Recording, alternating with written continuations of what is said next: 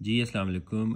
Today will be talking about Dawn news editorial dated twenty ninth November 2024 uh, the title of the uh, editorial is solidarity with palestine. Uh, अब इसमें ये देखिएगा कि आज थोड़ा सा इस ब्रीफ वीडियो में I would be talking about कि डॉन न्यूज़ के एडिटोरियल को पढ़ने से आपने फ़ायदा कैसे लेना है? उसमें से क्या चीज़ें आपने एक्सट्रैक्ट करनी है?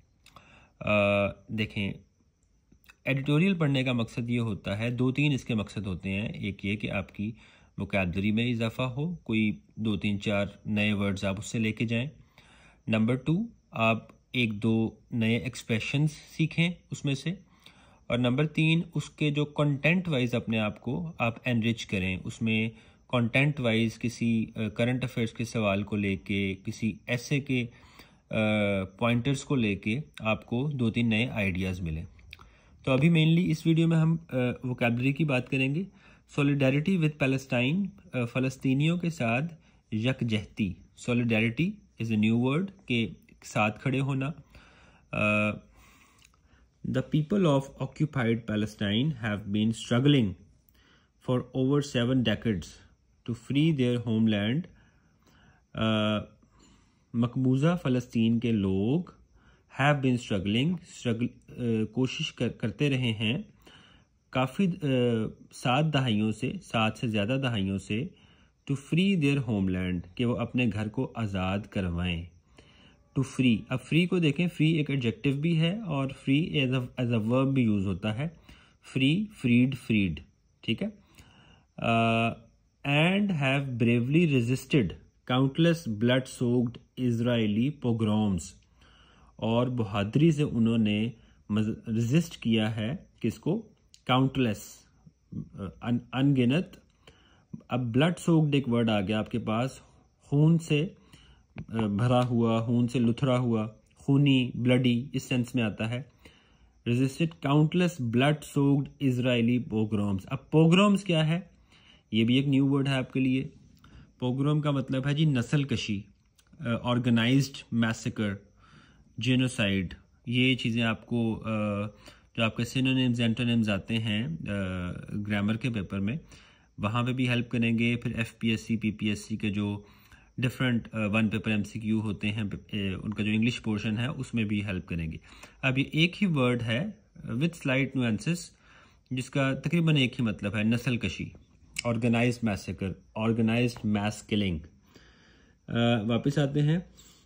एंड सेकेंड लाइन से, और उन्होंने बहादुरी से रजिस्ट किया है अनगिनत खूनी इसराइली नस्ल कशी की कोशिशों को।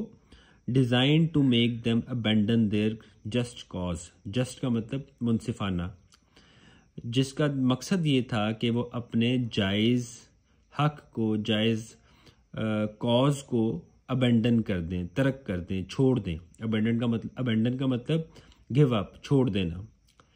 The ongoing genocidal campaign in Gaza is only the latest Zionist project जो जो, मौजूदा नस्ल कशी की कैंपेन है गज़ा में वो जाइनिस्ट के प्रोजेक्ट्स में ताज़ा तरीन है, सबसे लेटेस्ट है। Intended to break the Palestinian spirit जो जिसका मकसद ये है कि वो फ़लस्तीनियों की, के जज्बे को ब्रेक करे, तोड़ दे। अब यहाँ पे एक दो लफ्ज़ और आएँगे new words yet yet their perseverance in the face of unspeakable adversity लेकिन उनकी साबित कदमी परसेवरेंस को देखें जी। साबित कदमी और रिजिलियंस ये इसके सिनोनिम्स बन जाएँगे। और उर्दू में मैं इसलिए बताता हूँ कि उर्दू में आपको याद रहता है ज़्यादा देर तक। ठीक है? साबित कदमी। वापस आते हैं। लेकिन उनकी साबित कदमी, अब एक वर्ड आता है उर्दू में, नाकाबले बयां।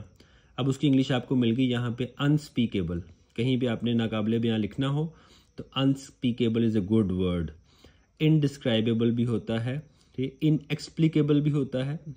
लेकिन उनकी साबित कदमी और नाकबले बयां मुसीबतों के सामने has won the Palestinian people and their cause supporters the world over लेकिन उनकी साबित कदमी बे नाकबले बयां मुसीबतों के फेस ए, के सामने वो उसने उनको पैलेस्टीनियन लोगों को और उनके मकसद को और कॉज को दुनिया भर में मकबूलियत दिलाई है।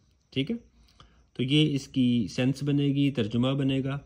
अब दो तीन वर्ड्स हमने सीखे pogrom massacre genocide perseverance resilience अच्छा रेस्ट भी एक वर्ड आएगा आगे, उसको भी जल्दी से देख लेते हैं। There are many factors behind global support for Palestine बहुत से फैक्टर्स हैं जो पैलेस्टाइन की ग्लोबल सपोर्ट के पीछे हैं।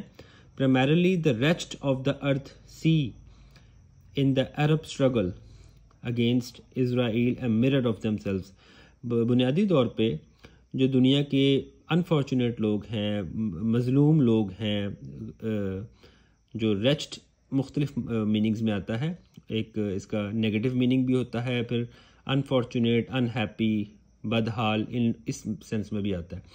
तो जो दुनिया के इस तरह के मजलूम लोग हैं, वो अरब शक्ल में क्या देखते हैं? अपनी ही अप, अपना आईना देखते हैं मतलब एक आईना देखते हैं अपने आप का ठीक है? और नीचे एक और वर्ड आपको मिलेगा मर्सीलेसली रुथलेसली बेरहम बेरहमाना ठीक है? तो this is how you extract three to four to five words from the editorial आप कुछ एक्सप्रेशन सीखते हैं। फिर इन लफ्ज़ों को याद रखने का तरीकाकार ये है कि इनका एक एक सेंटेंस बना के देख लें इनका एक एक जुमला बना लें। और इनको अपनी लैंग्वेज में, बोलने में या लिखने में यूज़ करें।